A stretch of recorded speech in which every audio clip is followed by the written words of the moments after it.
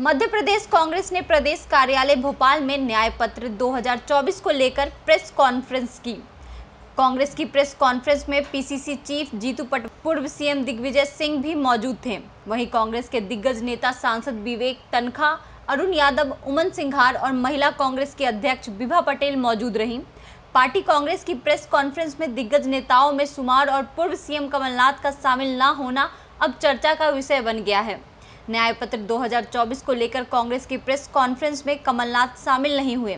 सियासी गलियारों में चर्चा है कि प्रदेश कांग्रेस अध्यक्ष का पद जाने के बाद से ही कमलनाथ ने पीसीसी से दूरी बना ली है।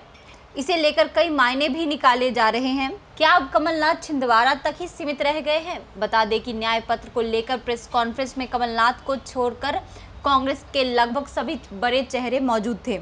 वहीं जब कमलनाथ के ना होने पर पीसीसी चीफ जीतू पटवारी से पूछा गया तो पटवारी ने कहा कि कमलनाथ का पहले से कार्यक्रम तय था।